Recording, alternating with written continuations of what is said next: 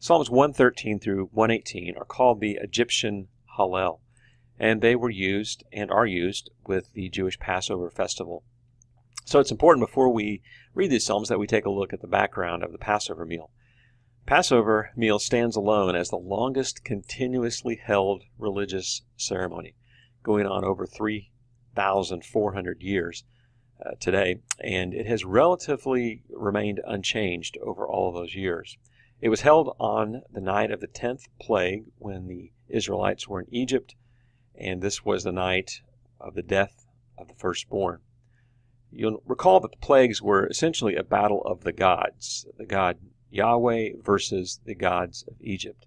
And Pharaoh himself was a god king, but the tenth plague demonstrated that even Pharaoh, as the god king, could not prevent the death of his own son. The uh, meal, of course, comm- commemorates the seminal event in Jewish history, that is, the Exodus from Israel. This was the birthday of the nation. It is the Independence Day, if you will, for the Jewish people. And so, like we celebrate Independence Day in the United States, uh, this uh, was that and so much more. Because for us as Christians, this uh, Passover experience, the Exodus from Egypt, uh, is a symbolic type of the victory that we experience in Christ through his death and resurrection. And all of that is symbolized and wrapped up in this meal. This meal was also observed by Jesus and his disciples in what we call the Last Supper.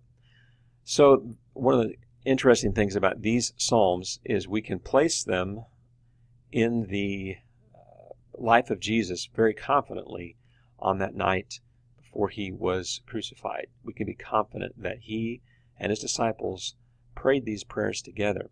And if you'll pray these prayers with that in mind, I promise you it will yield some amazing insights into the mind of Christ uh, in the evening before his crucifixion.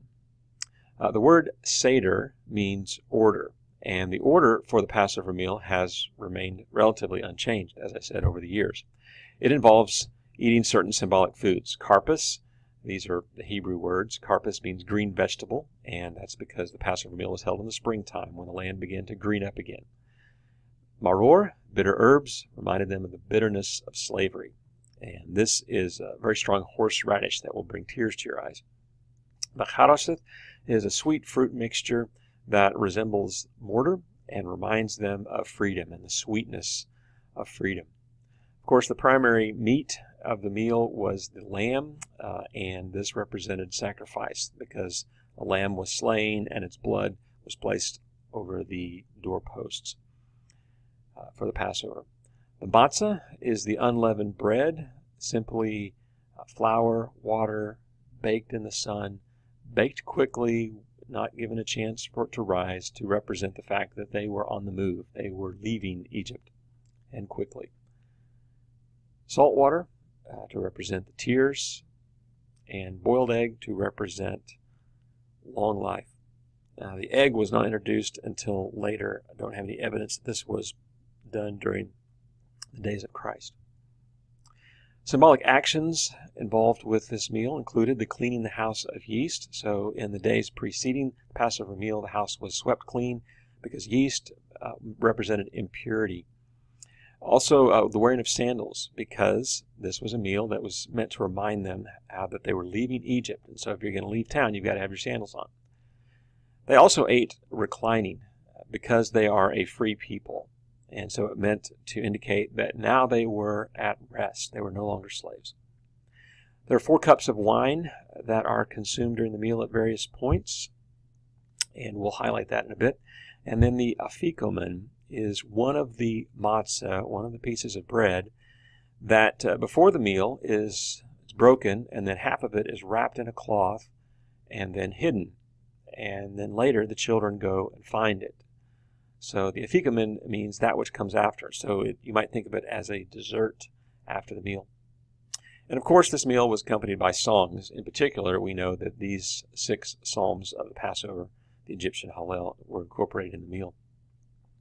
Uh, there's a list of all the actions. And as you can see, the Passover meal is, is truly a Seder. There is order to it.